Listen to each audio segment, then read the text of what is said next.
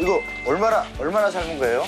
한 30분? 30분. 찬물에다가 이제 쏟아야 됩니다. 빨리 식혀야 네. 이게 이제 부드러운 게 깨지지 않고 아, 단단해져요. 바로 식혀야 되는구나. 네. 자,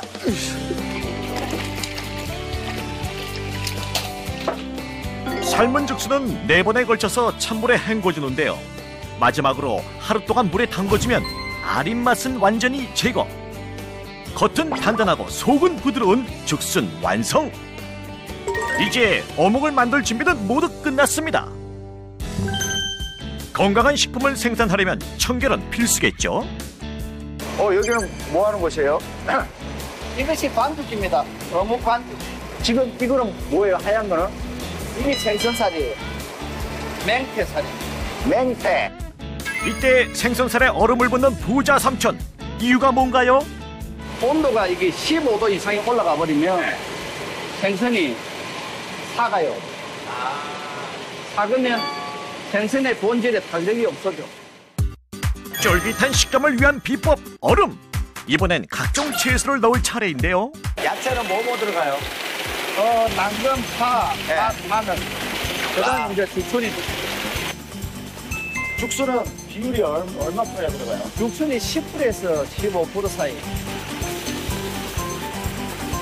죽순이 들어가니까 향이 네. 죽순이 확 올라오는데요. 이런 레시피는 어떻게 아신 거예요? 어묵 공장에서 오랫동안 예. 일을 하다 보니까 고향이 와보니까 이제 대나무 죽순이 많으니까 아, 예. 개발을 했죠. 아, 그래 놓으면 이 알- 맛에 맞는 개발을 해가지고 특허를 얻었어요. 20여 년간 쌓은 노하우를 죽순에 접목한 주인공. 가장 완벽한 맛을 찾기 위해 3년간 연구한 결과 국내 하나뿐인 특별한 어묵을 개발할 수 있었습니다. 완성된 어묵 반죽은 성형 틀에 넣어 일정한 모양으로 찍어내는데요. 깨끗한 기름에 살짝 튀겨내기만 하면 죽순이 듬뿍 들어간 부자 삼천표 어묵 탄생!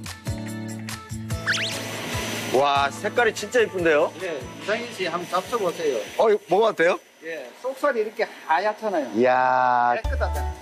김이 모락모락 나는 바로 나오는 묵 처음 먹어보네. 오, 김 나는 거. 아. 음, 우와, 색다르죠?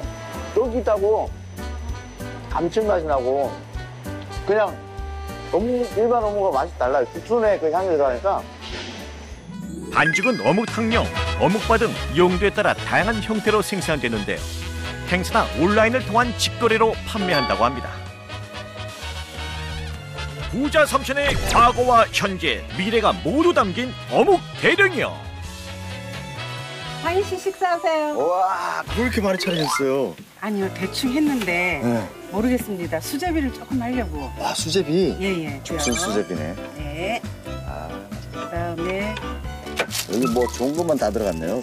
국물에도 좋은 거 들어가고 아마 쫄깃쫄깃해서 수제비에도 좋은 것만 들어가고. 육수가 이렇게 해가지고. 그렇지. 이게 연육이 75%짜리라 네. 이게 육수를 따로 빼는 게안 와도 돼요. 아, 수제비에다가 죽순 어묵까지. 크, 순하고. 음. 와, 시원해요? 수제비 신세계인데? 국물이 굉장히 시원하고 쫄깃함이나 식감이 다르고 향도 나요, 죽순 향이. 시원하고 깔끔한 맛이 배가가 되는 것 같아요. 아, 또 이것도 먹어봐요.